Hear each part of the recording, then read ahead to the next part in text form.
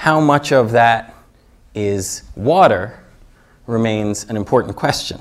Why do we care, really? I mean, if it's ice or water, well, because at least everywhere on Earth where there is water, there is life. Of course, an important goal for NASA, an important interest of the public is is there life out there? Are we alone? Is life common? We're not talking about fish and whales, but we're talking about microscopic life, microscopic organisms. Could they exist within Europa? That's a lot of the driver to understand what Europa might be like beneath its ice. So we know it has a skin of H2O, but from the gravity data, we don't know if there's liquid there. I'm going to argue in a little bit that from the geology, we think there's liquid there. But the geologists, such as myself, are kind of scooped by the folks who study magnetic fields of all things.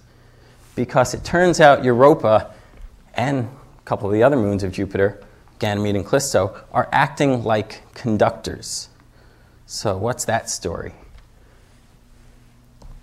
Europa is orbiting within the gigantic magnetic field of Jupiter.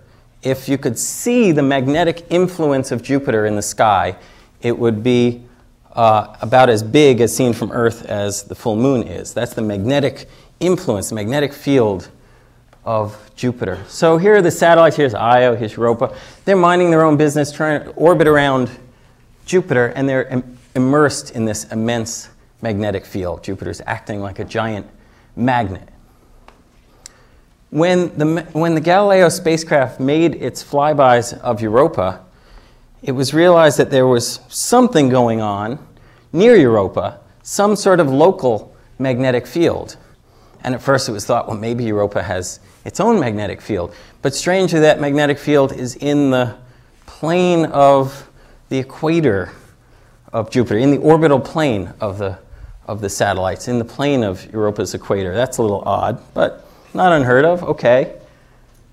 But then another time when the Galileo spacecraft flew by Europa, the magnetic field had reversed. North had become south and south had become north.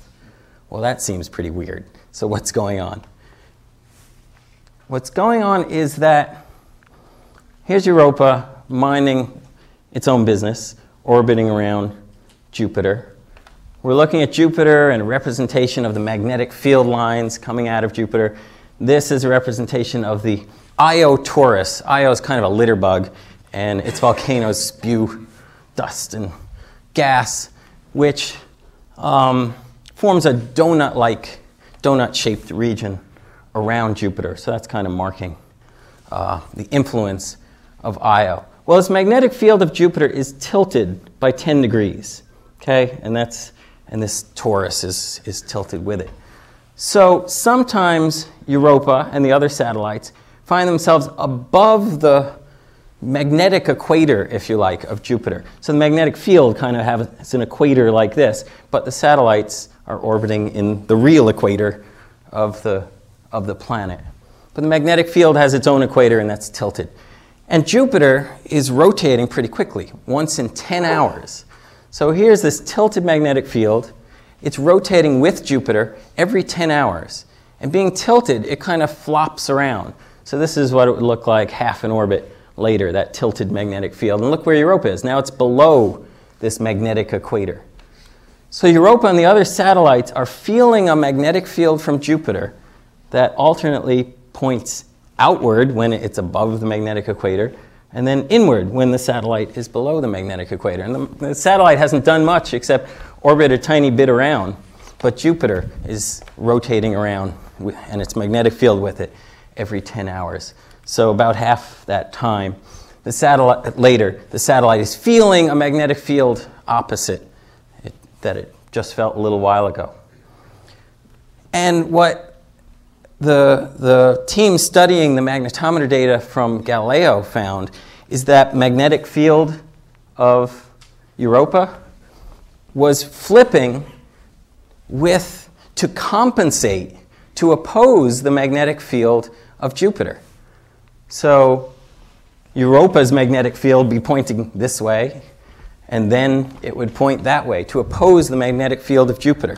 So the bottom line, what this story is all about, is that Europa, to do that, Europa had to be behaving as a conductor, conducting electricity essentially.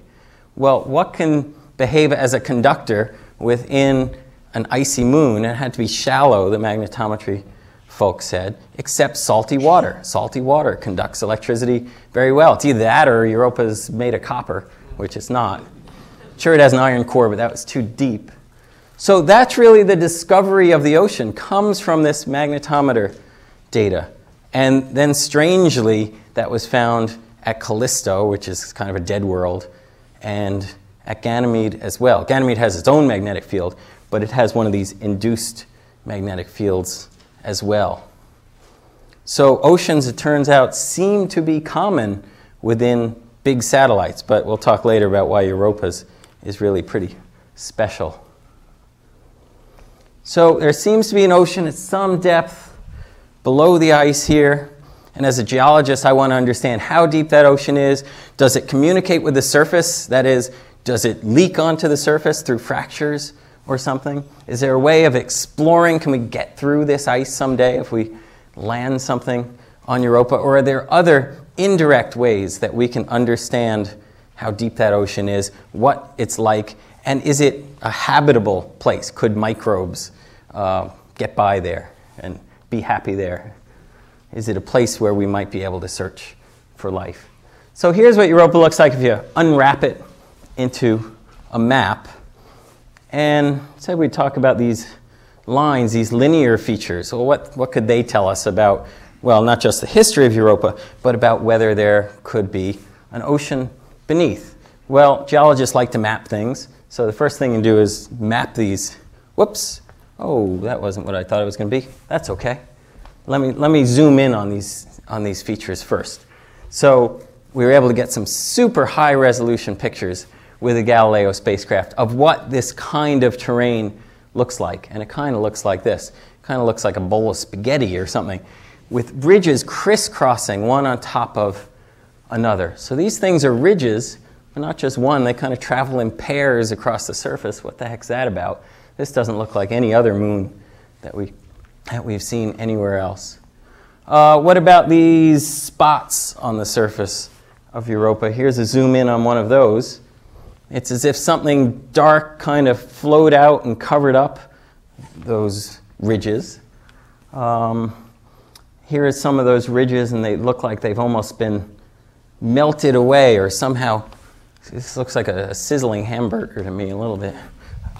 So something strange has come along and almost cooked Europa's surface. So um, when we look at these ridged plains, we want to see, we want to map out these lines, these linear features, try to understand how they formed, try to understand their patterns, what they look like, how they crisscross one another. There's a lot of information in there. Uh, some of them, look at this guy. I mean, that's pretty weird. You don't see that anywhere else in the solar system. What the heck is doing that? Ah, so here's the map I thought I was going to show earlier. Here we go. So we can map out these global features on Europa's surface and then try to understand the stresses that form them. So how was the ice deformed, stretched, in order to form these features? Because they sure seem like they're cracks, and when we look at them close up, we can see that they've opened up, essentially. Um, well, the red areas here are predictions where the stresses should be pulling the surface apart, tension, and the blue uh, lines are areas where the surface would be pushed together, compression, and a map of these linear features. And if the linear features are perpendicular to the red tick marks, then it's kind of a good fit. That is, then the tension could have pulled apart a fracture like this. So it's a decent fit to this stress pattern. So we, we come up with ideas for how the surface might have been ripped apart and then try to compare them to what we see and see how good the fit is. Well, what is this stress field that seems to be a decent fit to Europa's features? It's the stress field if Europa's ice shell is rotating relative to the interior, slipping relative to the interior. So this is a weird idea, and people thought, well, let's just try that. Maybe that'll fit. And, and it does. So what this tells us is that the ice shell isn't firmly attached, if you like, firmly, firmly joined to what's underneath. It seems to somehow be lubricated by something underneath and very slowly pulled relative to the interior of the satellite. So most moons always face their parent planet, and our moon does this. And, and so if, if that's the sun, uh, uh, sorry, if that's the Earth and I'm the moon, the moon be going around and always facing the same face toward the Earth.